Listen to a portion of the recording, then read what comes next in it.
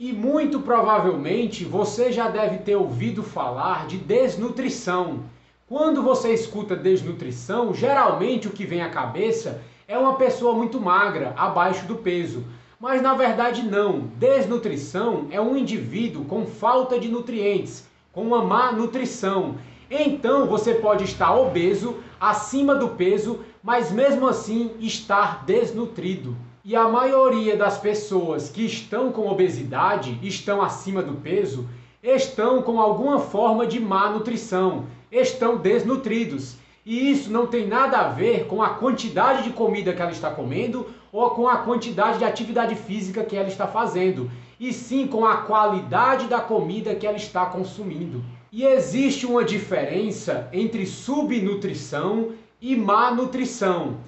Uma pessoa, quando está subnutrida, quer dizer que não existe comida suficiente. Então, essa pessoa realmente está passando fome por falta de comida. Mas quando uma pessoa está com má nutrição, está má, nutrida, ela tem uma quantidade de comida até boa, até mesmo alta, mas essa comida que ela está comendo não tem nutrientes ou, ou tem em pouca quantidade.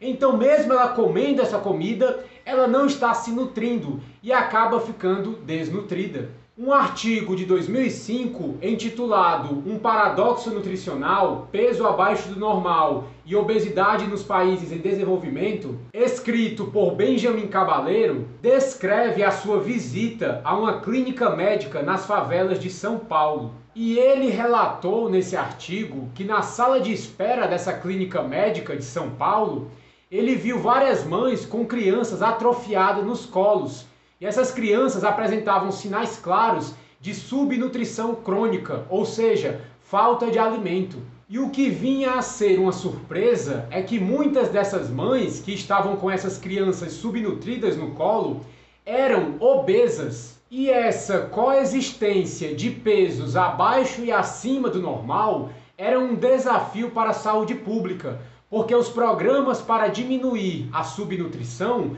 entravam em conflito com os programas para reverter ou prevenir a obesidade. Ou seja, se nós queremos prevenir a obesidade, nós temos que fazer as pessoas comerem menos.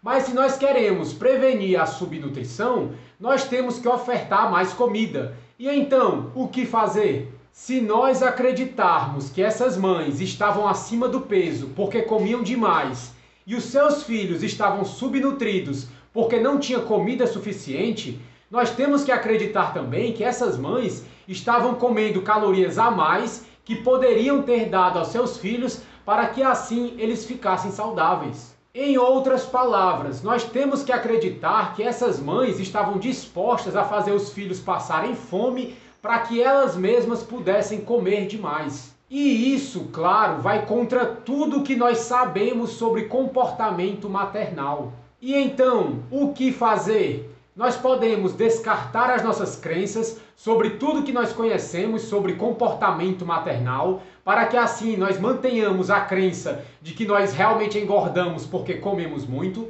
ou nós podemos nos questionar se essa crença que nós temos de que engordamos porque comemos muito realmente está certa e mantemos intacta a crença sobre todos os sacrifícios que as mães fazem pelos seus filhos. A coexistência de magreza excessiva e obesidade na mesma população e até mesmo na mesma família não é um desafio para os programas de saúde pública, e sim um desafio para as nossas crenças sobre o que realmente causa sobrepeso, obesidade e acúmulo de gordura.